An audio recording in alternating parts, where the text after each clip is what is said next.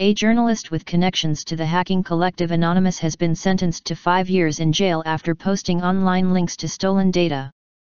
Barrett Brown originally faced charges punishable by more than 100 years in prison, but the sentence was reduced after he pleaded guilty last year. He said he broke the law to reveal details of illegal government activity. The case drew criticism from advocates of free speech and media rights organizations.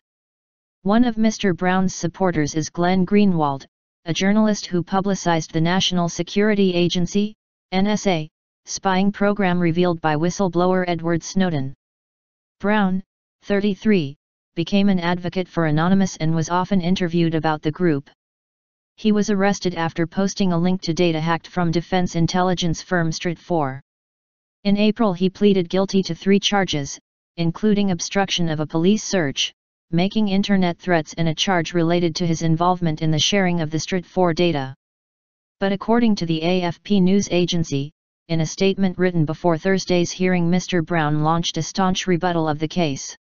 He said, the government exposed me to decades of prison time for copying and pasting a link to a publicly available file that other journalists were also linking to without being prosecuted.